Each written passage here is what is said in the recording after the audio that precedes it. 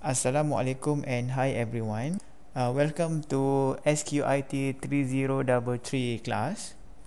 In this session, I'm going to give a general view of what is uh, knowledge acquisition in decision making or normally uh, been known as data mining class.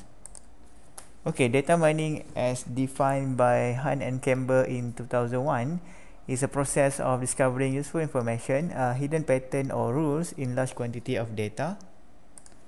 The data mining itself can be viewed as a multidisciplinary research area uh, which consists of statistics, uh, pattern recognition, uh, neurocomputing, machine learning, artificial intelligence, uh, and database. In this SQIT 3033 class, uh, we are going to learn the process involved in doing data mining and also several established data mining techniques.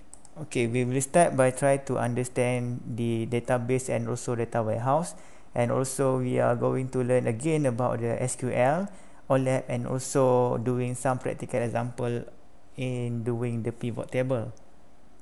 Okay, next, the most important uh, task in doing data mining is the data pre-processing. Here we are we going to learn about what is missing data, what is data integration and several other example and process involved in doing data pre-processing. Okay, once the data is ready, so the next task is we are going to learn how to develop the data mining model.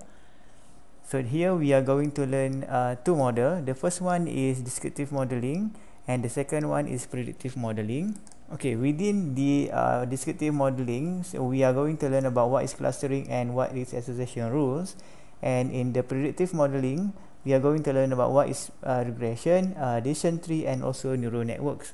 Okay, the final task in data mining process is try to understand the knowledge, the pattern, and the rule that been discovered from the data mining process.